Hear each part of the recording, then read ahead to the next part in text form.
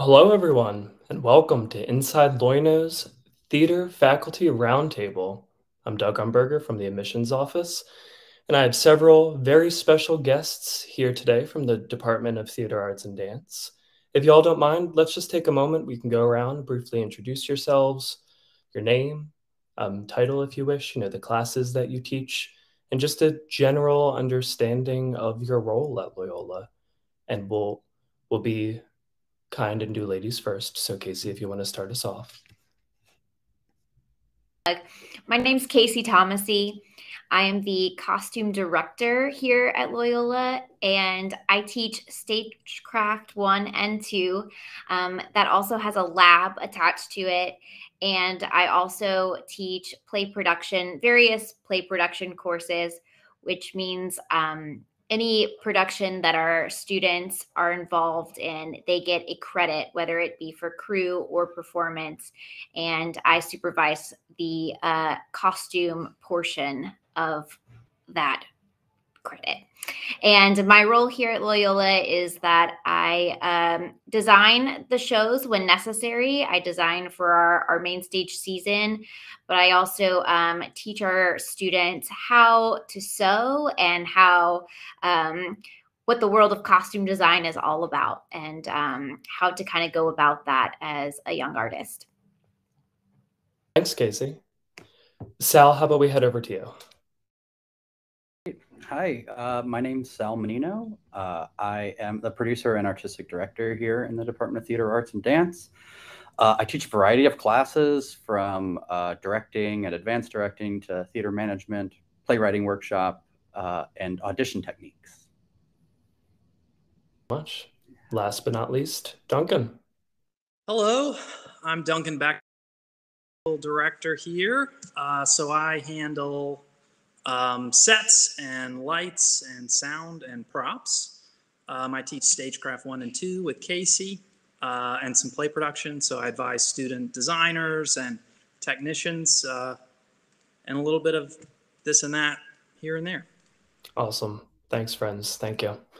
Now, for viewers, whether you're students who are literally just starting your college search or whether you've been admitted, whether you're a parent, whether you're a counselor, you know, I hope to keep this conversation as the moderator pretty casual and and certainly conversational and and hopefully you'll walk away with just a little bit of a better understanding on how you know Loyola and the Wolfpack and the city of New Orleans is just a little more unique from the rest when it comes to theater arts and, and musical theater and the like.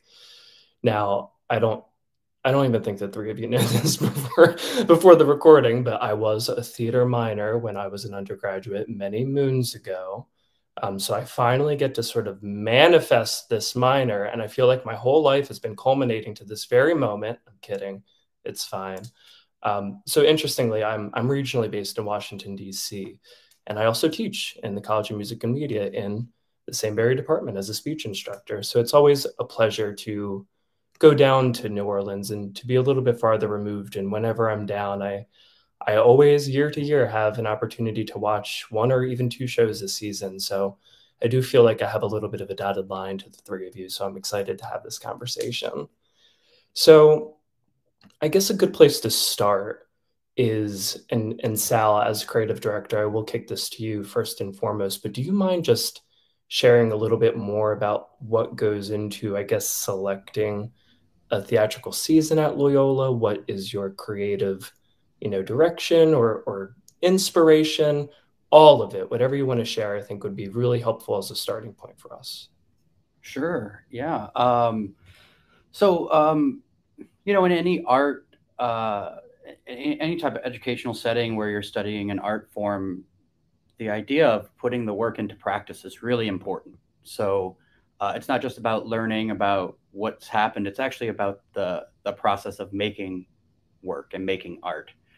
Um, so the productions that we produce are a huge part of our curriculum, and uh, I'd say one of the the places where we see the most growth in our department and our students. So, um, you know, like most places, we have a, uh, a curated season.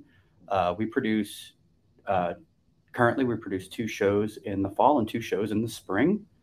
Um, those shows have traditionally been whether they're classic works like a Shakespeare piece to a contemporary musical or contemporary play. Um, we've made a big shift over the past uh, couple years of uh, really finding the interest from our students to create new work. So that's one thing that's definitely found a place in our seasons of how do we uh, not just look back on things that have been published and plays that have been produced, um, you know, on Broadway or regionally, but also allowing our students the opportunity to dive in and create something from scratch. Uh, we always say like you should be making art about the things that like when you go to bed at night you can't stop thinking about and you wake up and you're thinking about it first thing in the morning. That's what you need to be making work about and that's what you need to be talking about as artists. So we need to not be waiting for those opportunities for somebody to present it. We're really trying to engage our students in really taking the initiative and having that entrepreneurial uh, spirit to go after what they they want so um, we're starting moving forward we're producing uh, classic plays, contemporary plays, musicals, and this new work. We're having this this new wing of our season that's really going to focus on the development process and letting our students not just see a product, but letting them see the process. Um, it's so important in uh, in a creative uh, environment to see how things are created and not just see the end result. And normally, as audiences, we only get the end result, but there's so much more to that. And we really are trying to embrace that in our season, letting our students see that. Um, we really believe that uh, people come first. You know, theater is a collaborative environment. We don't make theater by ourselves. So, you know, people are the most. So when we're choosing a season, no, we're not looking at plays and picking the plays and then finding directors to direct those plays. We're trying to find the people who we want with our students and in the environment and then collaboratively coming to a decision about a project that's mutually beneficial for both the director and for uh, our student artists here.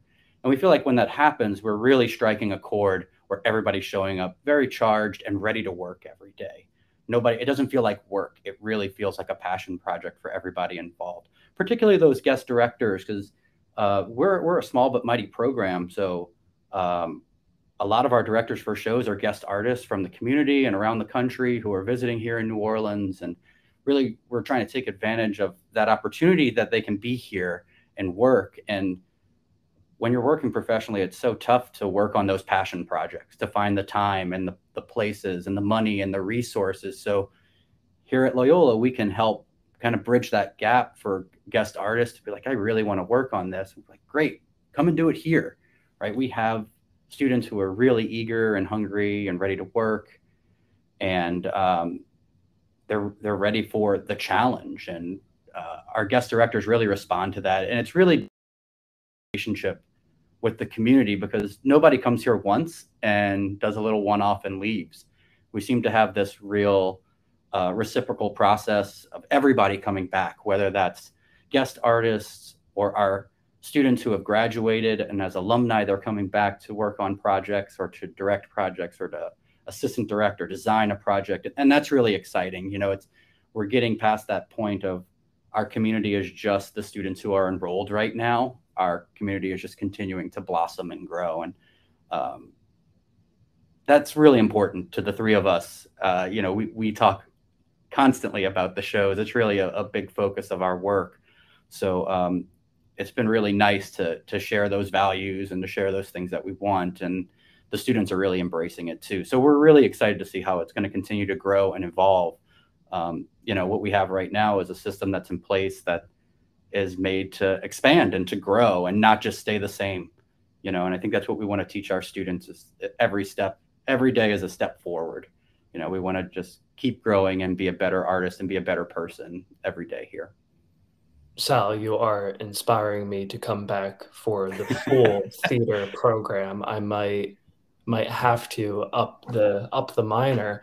Do Change you, that minor to a major. Changing the minor to a major. Um, do you mind sharing just one either student anecdote or success story when it comes to the new work specifically?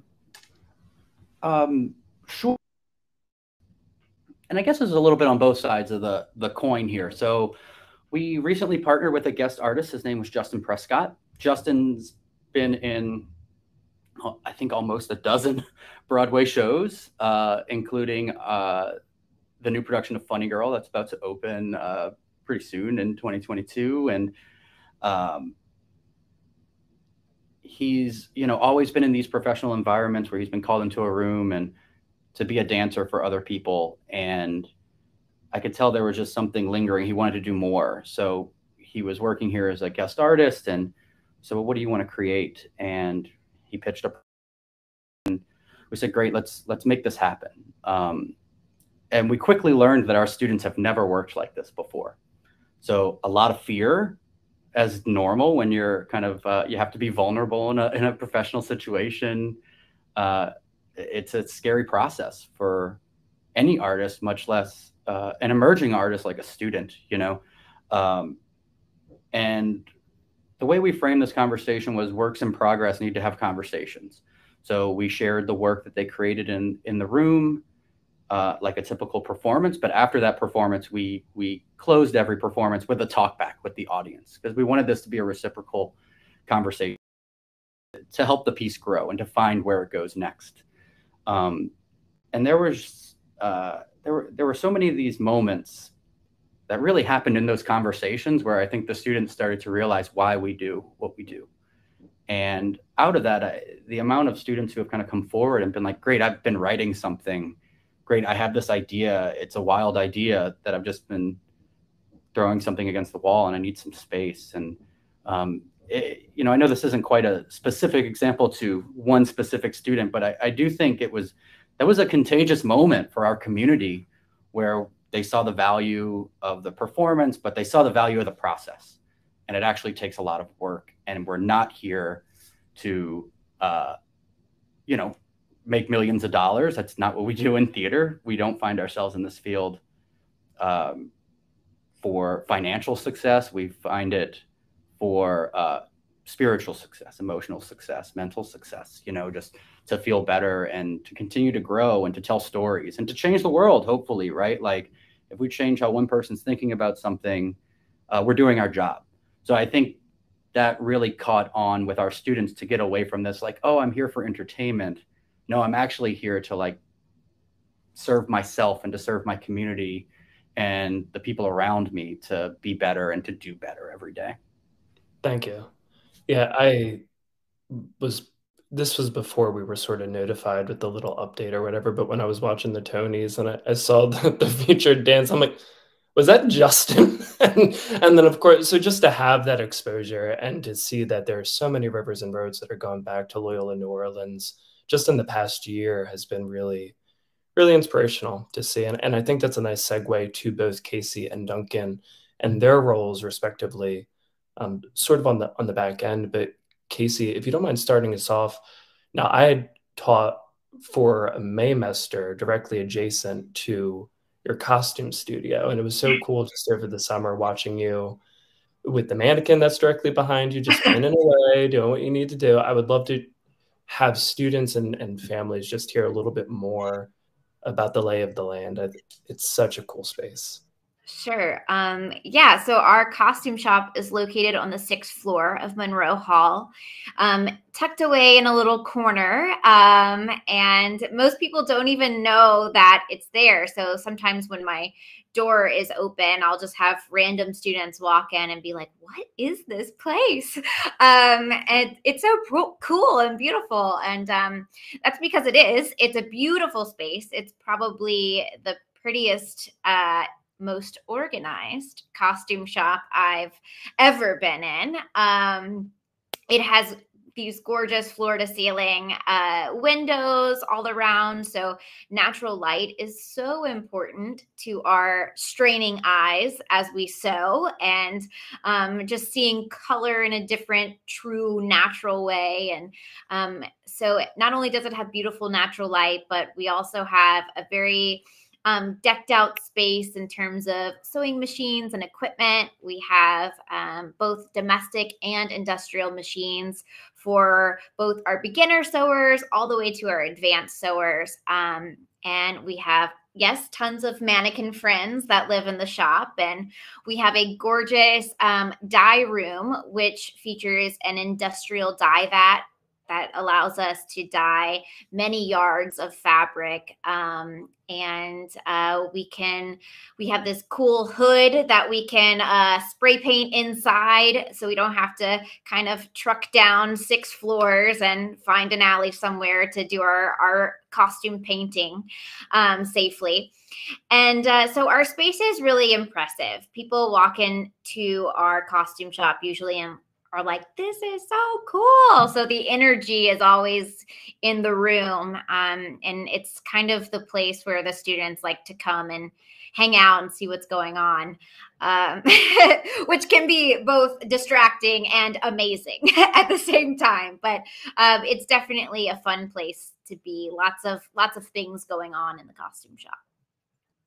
Had the the pleasure of going down in and around the holidays, but y'all were doing um, intimate apparel, and it was such an an impressive feat of a show and production. But obviously, I think any member of the audience, first and foremost, the thing that comes to their mind is, "Holy cow, the costumes!" Would love to hear just a little bit more about the student perspective and, and process, um, just to get that that production afloat. Sure thing. So um, that production is unique um, because it's kind of a costume designer's dream. Not only is it a a beautiful show costume wise, visually, um, because of the time period is is turn of the century. So it's early turn of the century in New York City. Um, and, you know, you've got corsets, you've got, you know, all of these layers for the women's wear, you've got full three piece suits for men. Um, yeah, it's a costume de- designer's dream, that show. And I would have to say, safely say. And um, so that one is special because it's also about um, a seamstress. It's also about a journey of of of the painstakingly and oftentimes tedious journey one takes to build a garment. Um, one of the toughest garments, in fact, to build, which is a so that that show brings in lots of cors- corsetry, which um, this past semester we our students were able to um, have a hand in building five different turn of the century corsets. Um, and it's hard work. And they realized as soon as we started building um, these corsets, how much work it actually is. And I think it really it helped some of them actually connect to their characters better because they were like, "This takes forever to build," and I'm like, "Yeah, it's it's a lot of work.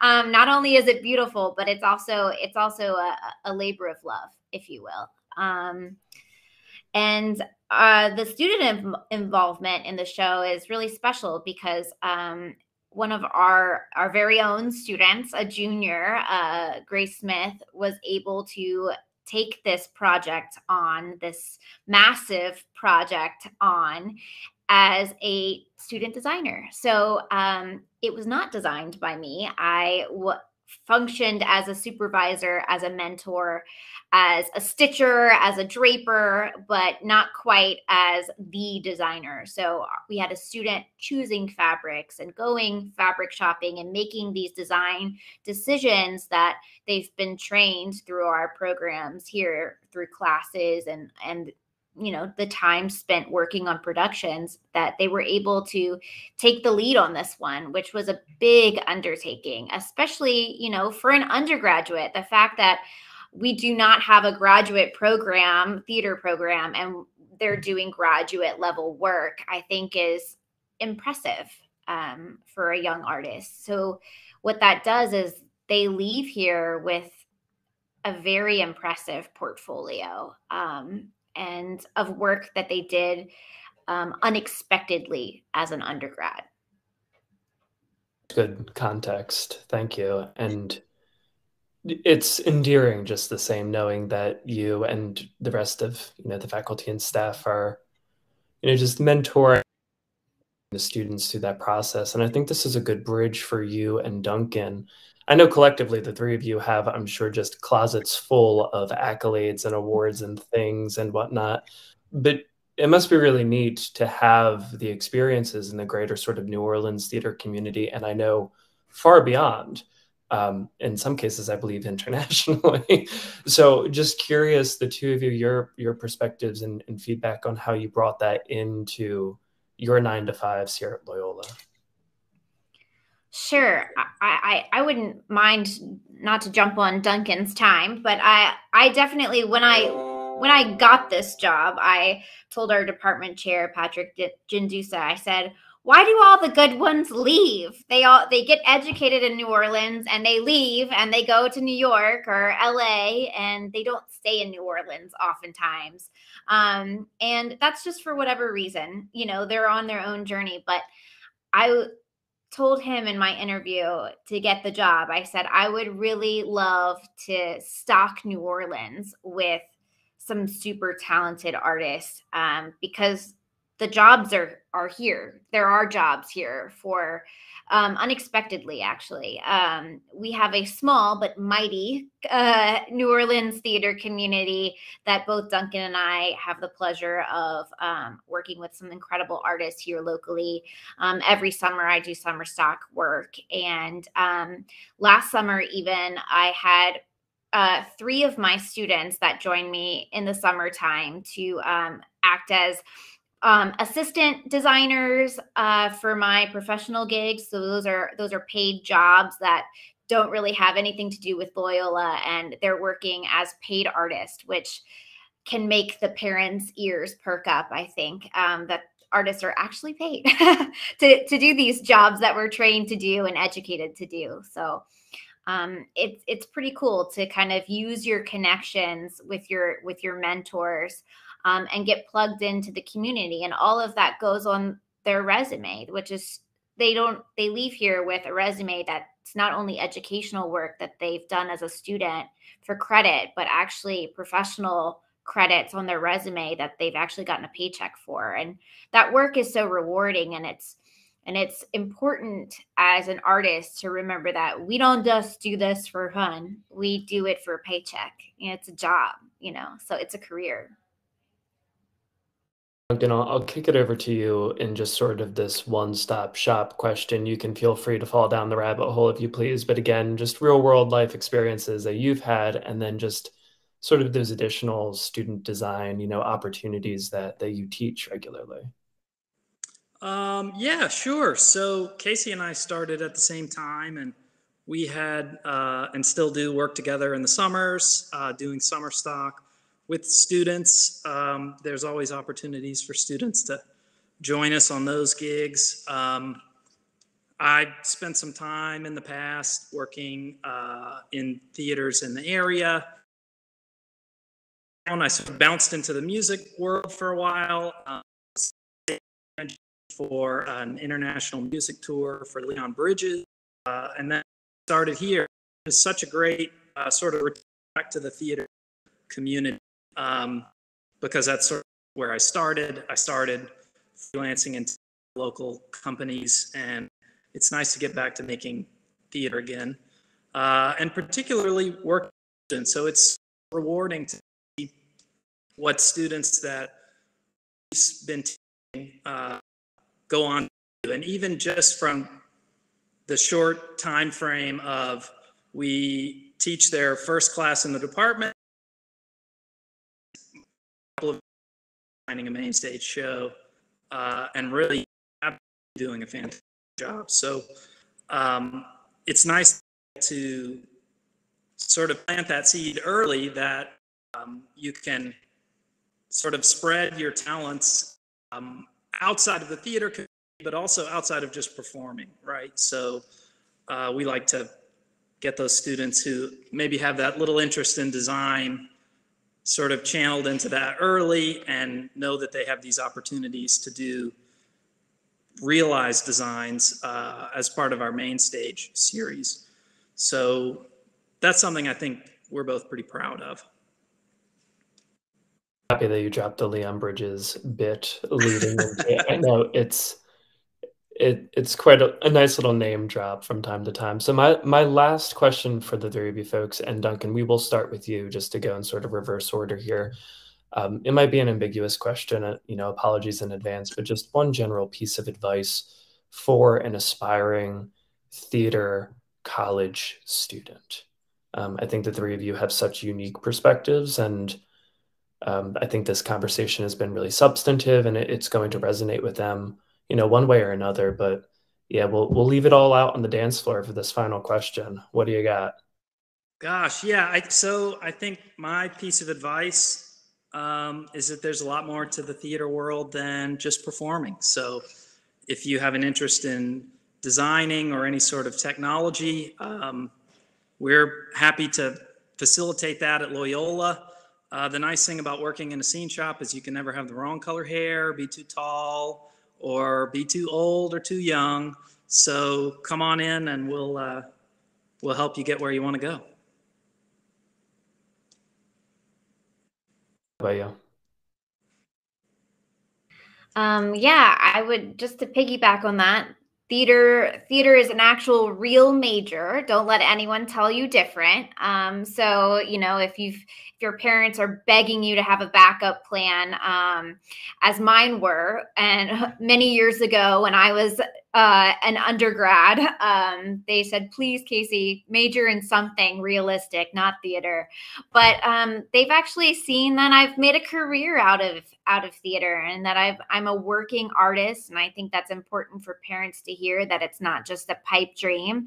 It's a reality. It's um it's something that you know i wake up every morning and i love my job. I love the people that i work with. I you know duncan and sal are such special and patrick are such such special humans that i get to collaborate with on a daily basis. And um and what more could you want as a as a young person going into a, a field that you know requires you to be around people you know you get to be around the best people. Theater people are cool and um, we are fun but we also work really really hard and have some of the most underrated work ethic in in the biz i think. Okay with you i'm going to name this session theater people are cool and that's going to be the title. Sal close this out. Yeah um you know, kind of jumping off of where Duncan and Casey kind of started, I, I you know, theater, it's not your field, it's not what you do.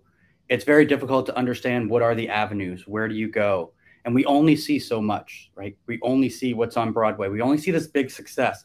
That's a really small percentage, like one or 2% of the people working. And when I say working, I mean like full time job working that's that's a very small percentage, but that's really where the attention goes. But the other 98% of us are really grinding every day. And that is the most exciting part of it. There, there's just so much to uncover. So if I'm going to leave you with anything, I'm going to do a little Walt Whitman here. Be curious, not judgmental. That's what you need to take forward. Little Ted Lasso, maybe too. So there you go. Walt Whitman and, and Ted Lasso. There's no better way to bookend this entire session.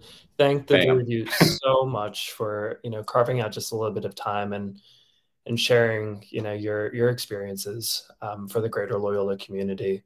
You know, as a as a colleague in some senses, but more so as sort of a an audience member. It, it's inspiring, and I'm happy to have had a little bit of time here just to shoot the breeze with the three of you. Um, just some really quick housekeeping items, folks, before you close out here. If you haven't already done so, watch the the glow in the studio video within Inside Loyno. It it features, and for the sake of the dramatic, stars the theater department chair Patrick Gendusa in um, a very fascinating three to four minute video, but showing you some of the studio space a little bit further there, and just continue to poke around the site you know you're going to find a bunch of different webinars and, and interviews like this for Loyola's academics and student life and financial aid and and all things admission. So enjoy Inside Loyno. Just keep going around. Um, hope you enjoyed this time. And to the three of you, my theater colleagues, I hope you break a leg for the rest of the season and and into the year. Take good care. Thanks, y'all. Thanks, Doug.